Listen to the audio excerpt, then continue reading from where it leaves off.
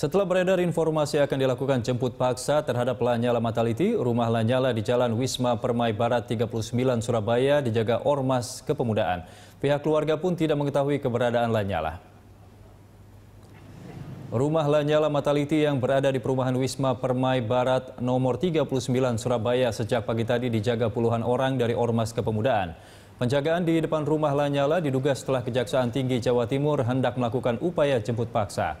Rencana upaya jemput paksa ke Jati Jatim dilakukan setelah Lanyala tiga kali mangkir dari pemeriksaan.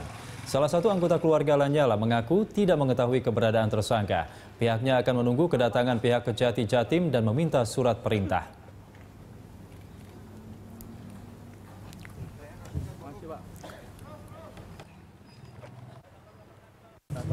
Nah kami nggak tahu. Jadi gini, kita ini cuma datang duduk aja nungguin di sini ya. Saya sebagai keluarga. Jadi kami juga nggak tahu apakah kejaksaan mau ke sini atau nggak kita nggak tahu karena suratnya juga nggak ada. Gitu loh.